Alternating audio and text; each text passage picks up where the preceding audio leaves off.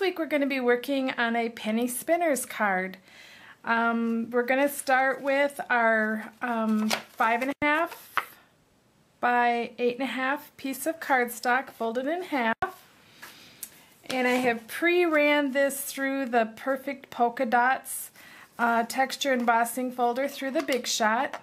And I'm going to run this in here and I'm going to push it up as far as I can and I'm going to just slide this. This is the window punch and we're going to put, I'm punching three of those all the way across. Now I see a little divot where I miss so I'm going to go in and just clean that edge up so the penny doesn't get stuck there. Once you've completed that we're going to turn it over and we're going to put some dimensionals on the back. Now I use more than I normally would um, simply because I want to keep the card up off the thing. But you want to also make sure that you're not going to be putting these where your pennies could possibly bump into them. So you want to leave them up high enough. So we're going to go like that. Then we're going to peel all of these backings off. How many of you find these like in the most interesting places? It's almost like a Hansel and Gretel Hansel and Gretel scenario. They're all over the house and somebody might think you you're lost and they just seem to keep showing up over and over and over. So I'm sticking this on the front of my card like this. And I've got a little piece of designer paper.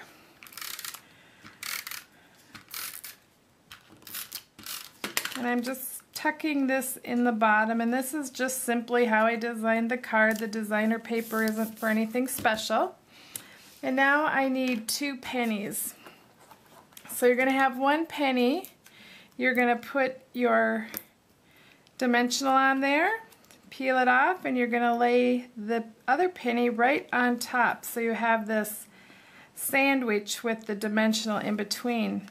Then you're going to put it on here and you're just going to very carefully lift this edge up so that the penny now fits in your little groove. And what I found is it worked good to just kind of go in and twist that penny a little to break down those little um, corners on my dimensional.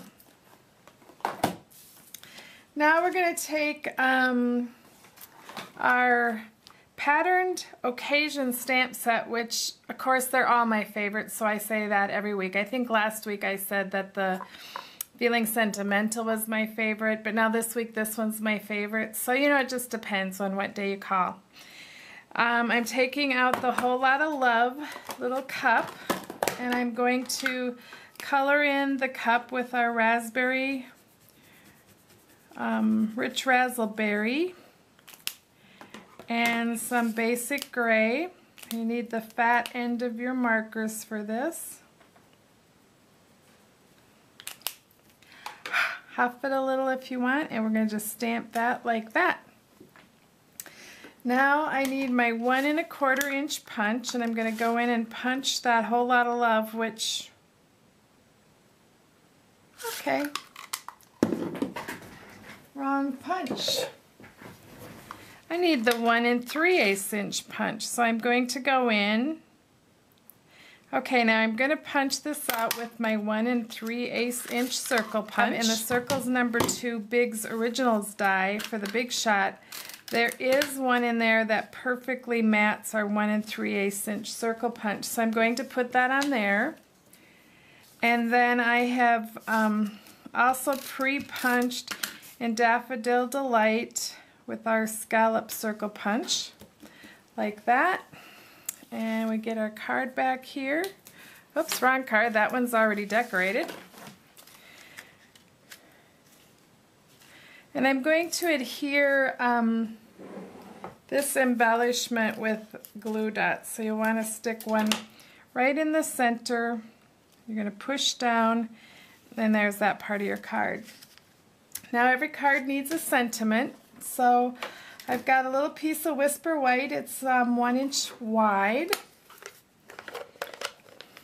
And depending on your sentiment, how long you want it, I'm going to take our happy birthday.